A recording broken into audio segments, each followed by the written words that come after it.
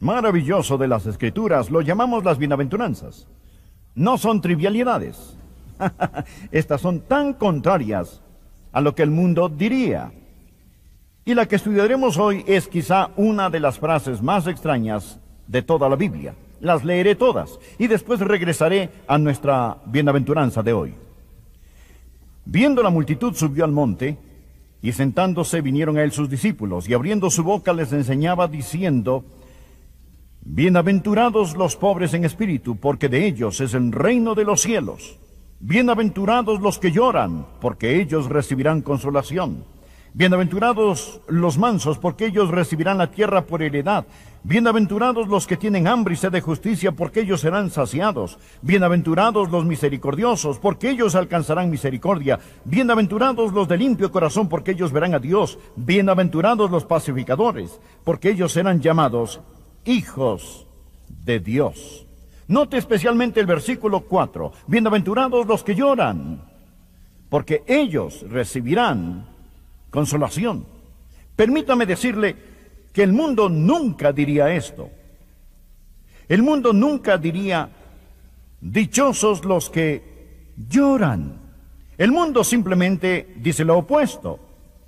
Bienaventurados los que nunca lloran. Bienaventurados los que nunca tienen una pena. Tenemos la idea de que si pudiésemos ir por la vida sin nunca tener que llorar, sin ninguna tristeza, sin ningún dolor, sin ninguna aflicción, sin ningún lamento y gemido, sería maravilloso. Pero no es así. Bienaventurados, bienaventurados, dijo Jesús, los que lloran. Deseo decir que la gente de este mundo diría que si pudiéramos tan solo arreglar las condiciones, donde nunca tengamos ninguna tristeza, nunca un dolor, nunca una herida, entonces podríamos cambiar a los hombres. Si podemos cambiar las condiciones, podemos cambiar la conducta. Pero esto no es lo que la Biblia enseña. La Biblia enseña lo opuesto. Les recuerdo que el hombre tuvo un medio ambiente perfecto. En el jardín del Edén. No podría haber tenido un medio ambiente mejor que este en el cual estuvo. Pero el mundo lo entiende al revés. El mundo pone el énfasis en la condición. Dios pone el énfasis en el carácter. Él no dice bienaventurados los que tienen popularidad, los que tienen posición, los que tienen personalidad, los que tienen posesiones, los que tienen poder. Puedo mostrarle personas que tienen todo esto y son perfectamente, exquisitamente miserables. Jesús no dice bienaventurados los que tienen ciertas cosas, sino bienaventurados los que son ciertas cosas. Y segundo en la lista, bienaventurados los que lloran. Ahora, deseo dejar algo muy claro aquí. Jesús no está hablando de los llorones, Él está hablando de los dolientes. Todos conocemos a los llorones. Esta clase de gente me recuerda de un niño que andaba a su alrededor con una nube oscura sobre su cabeza. Usted no podía pronunciar su nombre porque no tenía vocales, solo consonantes, pero a donde él iba, a donde quiera que él iba, una nube de lluvia estaba sobre su cabeza. Conozco este tipo de gente y muy francamente yo no pienso que Jesús estaba hablando de ellos aquí. Él no está hablando de los miserables, los melancólicos, los quejosos, los llorones de este mundo. Él no está hablando de los llorones. Todos conocemos a estos. Beben constantemente de la copa embriagadora de la autocompasión. Su himno favorito es Nadie sabe las tribulaciones que he vivido. Y el único placer que logran en la vida es cantárselo a usted. y amigo, no sé preguntarles cómo se sienten, porque usted recibirá un recital de órgano. Le contarán exactamente cómo se sienten. Bien, de esto no es lo que Jesucristo está hablando. Él no está hablando de llorones. La palabra aquí, bienaventurados los que lloran, es la más profunda para tristeza. Es el dolor que se siente al lado de la sepultura de un ser querido. Es una palabra fuerte para el lamento.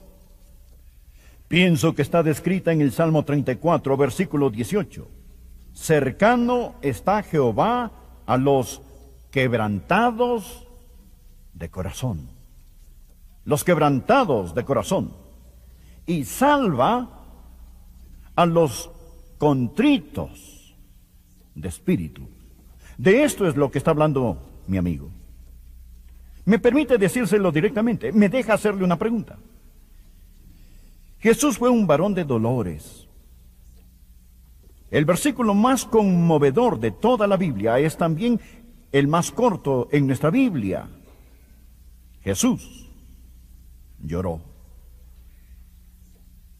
Las cosas que quebrantan el corazón de Jesús, ¿quebrantan el suyo? Esta es la pregunta. Las cosas que rompen el corazón de Jesús, ¿rompen el suyo? Bienaventurados los que lloran. Tenemos una iglesia sin llanto en un mundo inclinado hacia el infierno. Una de las cosas que hemos aprendido a hacer es no llorar. Muchos cultos en nuestras iglesias están llenos de entusiasmo de porristas. No estoy hablando contra el regocijo. Querido amigo, la Biblia dice, hay tiempo de reír y hay tiempo de llorar.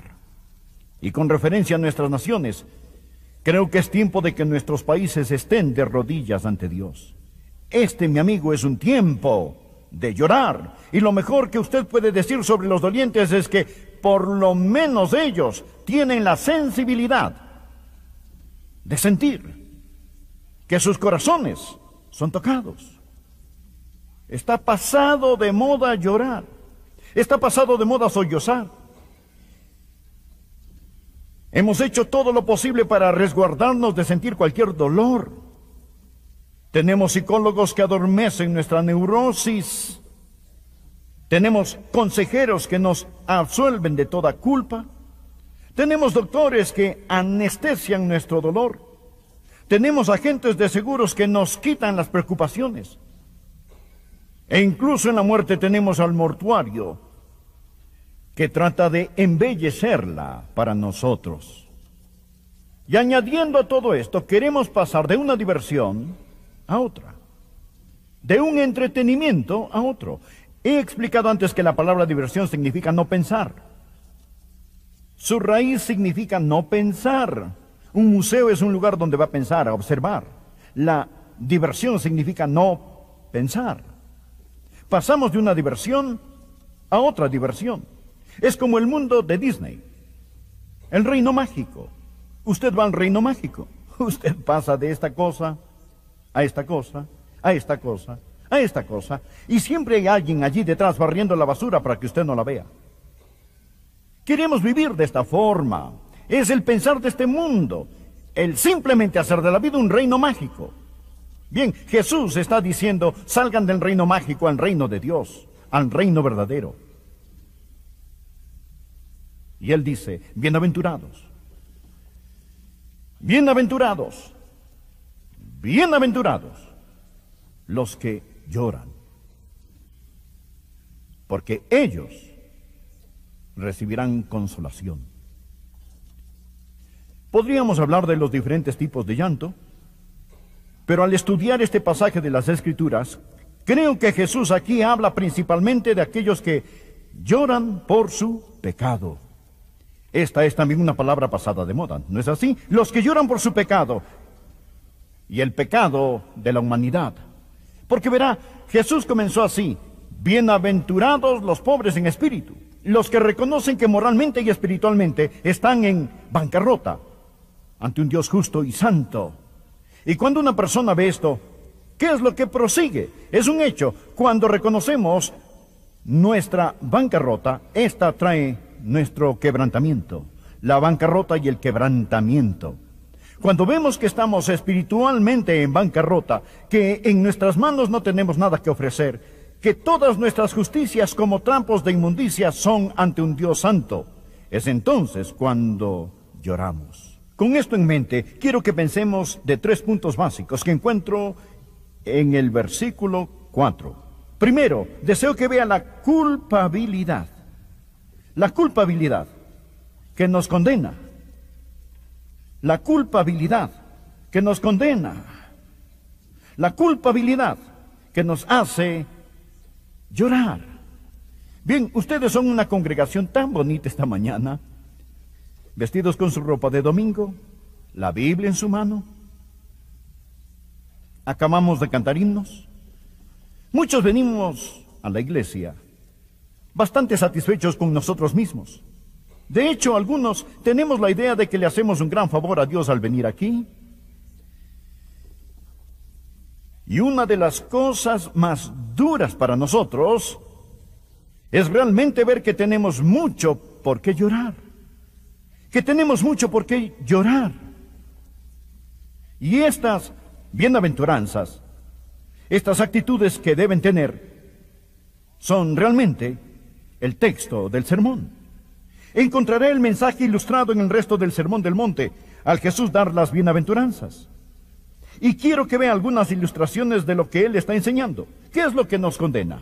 Primero, existe el poder engañador del pecado. Mire, Mateo capítulo 5 versículos 21 y 22. Oíste que fue dicho a los antiguos, no matarás, y cualquiera que matare será culpable del juicio. Pero yo os digo que cualquiera que se enoje contra su hermano será culpable de juicio. La mayoría tenemos una lista de lo que hacemos y de lo que no. Yo hago esto y hago aquello y no hago esto y no hago aquello. Y sabe que esta pequeña lista de sís y nos nos puede llevar a un orgullo abominable en nuestras vidas. Yo tengo algunos nos que usted no tiene. Hay algunas cosas que usted hace que yo no hago. Pero verá, lo que Jesús hace es arrancar el revestimiento de todo esto. Y Jesús llega al corazón del asunto. Y cuando Jesús ve enojo, en el libro mayor de Dios escribe asesino. Porque usted verá, ese es un depósito de ira que está donde nadie más puede verlo, solo Dios. Mire por favor, capítulo 5, versículo 27. Aquí Jesucristo continúa diciendo, oíste que fue dicho, no cometerás adulterio. Pero yo os digo que cualquiera que mira a una mujer para codiciarla, ya adulteró con ella en su corazón. Dios no mira lo que mira el hombre, pues el hombre mira lo exterior, pero Dios mira el corazón. Usted está viendo una de esas revistas obscenas, codiciando. Dios anota adulterio. Usted responde, yo nunca cometí adulterio. Dios dice, quizá no en tu cuerpo. Pero tiene mucho de qué lamentarse, mi amigo. Sabe, las leyes y las regulaciones, los sís y los nos, no lo harán ni un poquito más como el Señor Jesucristo. Ahora quiero que vea el segundo punto. No solo la culpabilidad que nos condena, pero deseo que usted vea el dolor, la tristeza que nos consume. Otra vez quiero que vea que la palabra tristeza aquí no es una palabra ordinaria. Hay muchas palabras para la tristeza en la Biblia. Esta es la palabra más profunda y conmovedora para el dolor. Significa lamentar, estar consumido por el dolor. Y a su vez quiero decir que esta es la nota que falta en la iglesia moderna. Muchos son paganos bautizados. Se han unido a las iglesias, como se han asociado a los clubes campestres, pero nunca se han quebrantado por su pecado. El lamentarse de algo está principalmente en la mente. El remordimiento pasa de la mente al corazón. Pero esta no es la tristeza que proviene de Dios. De hecho, el remordimiento sin el arrepentimiento puede ser peligroso, muy peligroso. El lamentarse es principalmente en la mente. El remordimiento está en la mente y en el corazón. Pero el remordimiento comparado con el arrepentimiento es un callejón sin salida. El arrepentimiento es una autopista. El remordimiento mira el pecado y sus consecuencias. El arrepentimiento mira más allá del pecado, al Calvario. Una persona llena de remordimiento es una que ama su pecado y se odia a sí mismo a la vez. ¿Ha conocido a alguien así? Él ama su pecado, pero se odia a sí mismo porque no puede dejarlo. Esto es el remordimiento. Una persona que se arrepiente es quien odia su pecado porque ama a su Salvador. Esta es la diferencia. Todos tenemos muchos que vienen a nuestras iglesias lamentándose y otros vienen con remordimiento. Pero, oh, gracias a Dios por aquellos que han venido con arrepentimiento. ¿Cuál es la diferencia? La Biblia enseña que Judas, cuando se dio cuenta de que él había traicionado al Señor Jesucristo y vio todo lo que sucedía, o cuando él entendió las consecuencias de su traición, la Biblia dice, hizo un lazo con dedos temblorosos, lo puso alrededor de su cuello y se ahorcó. Y él pasó del infierno que llevaba dentro de sí al infierno que está más allá de él. Y hoy está en el infierno. Estaba tan lleno de remordimiento que tiró las 30 piezas de plata en el piso del templo y fue y se ahorcó. Amigo, este era un hombre con remordimiento que nunca confesó su pecado.